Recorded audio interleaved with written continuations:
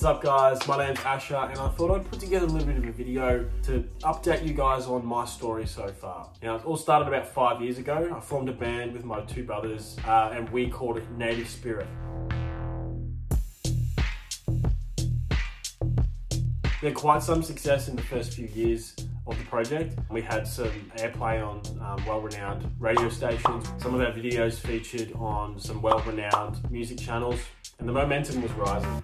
We then sort of plateaued a little bit. We had a few stagnant years where we didn't really release anything, and as a result, we really lost all of our momentum.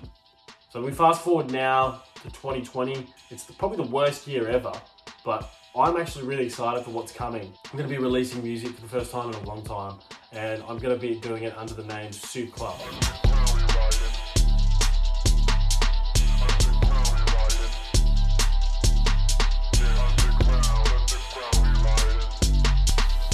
Music that I've been working on is very multi-dimensional.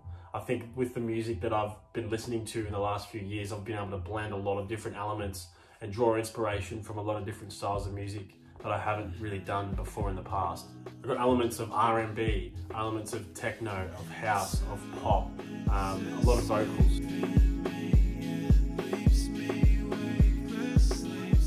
The name of my latest single is called Your Love. It's a song that's pretty close to my heart. Um, I've been working on it for a long time and I'm really pumped to share that with the world.